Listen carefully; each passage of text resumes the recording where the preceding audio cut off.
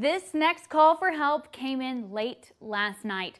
Bystanders located this baby raccoon near McGregor Boulevard with a clear jar stuck on its head. Take a look at that video. With a little assistance from the Iona McGregor Fire Department, Sergeant Mackrith freed the animal's head from the jar and look at this. He let the little man run free into the woods. He sure fled that scene. Glad deputies didn't have to chase that raccoon.